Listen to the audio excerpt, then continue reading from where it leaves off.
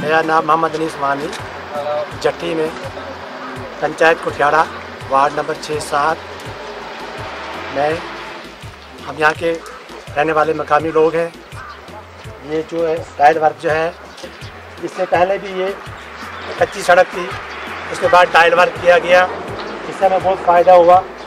ये जिम्मेदारों के खेत थे इनमें कुछ थोड़ी सी दीवार लग गई, बीच में टाइल लगी, इसमें बहुत कीचड़ था।